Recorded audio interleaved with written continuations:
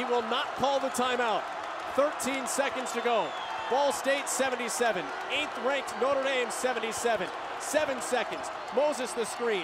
Persons goes left. Four seconds. Persons a three. Got it! Persons left wing three. 1.7 seconds at the Joyce Center in South Bend. Farrell will inbound baseline to Colson. Heaves. It's over. It's over. Ball State for the first time since 2001 beats a ranked opponent. It's eighth-ranked Notre Dame in South Bend on a Tuesday night in December.